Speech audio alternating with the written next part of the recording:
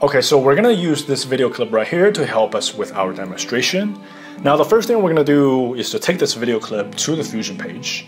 And once we're on the Fusion page, the next thing we're gonna do is to connect the text node to the effects mask input of the media in node.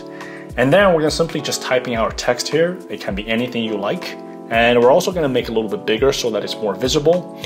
And as you can see right away that now we have a text uh, that has a transparent background uh, and it's playing the content of the video that we saw earlier. Okay, so we still have the alpha channel uh, left and I'm gonna use the a very simple color background here in this case uh, to fill the alpha channel. But in reality, you can use another video uh, to fill the alpha channel. It doesn't have to be a simple color background. Okay, so now we're pretty much done and then we're just gonna take this back to the edit page and we're gonna let it process, have a look at the output. So you're gonna see now that we have a finished video that has a transparent text whose background is playing the content of another video clip. Now there's another way of doing this. That is, instead of connecting the text node to the media in node, we can connect the text node to the effects mask input of the merge node.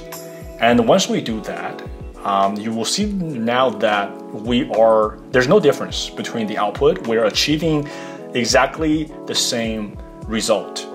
But what's different is now that if we click the merge node and we go to apply mask inverted and we check the box, you're gonna see that we can easily switch between uh, text with a solid color background and text with a transparent background. And because it's so easy to do, and also it has key and it's keyframeable, as you can see, we can actually create some very interesting effect right away, right off the bat. So what I'm gonna do is now that I'm gonna go to, I'm gonna alternate between uh, uh you know on and off for uh, apply mask inverted and I'm just gonna keyframe it, you know, for all these different uh, all these different frames. And now um, let's go back to the edit page and have a look at the uh, the, uh, the the output.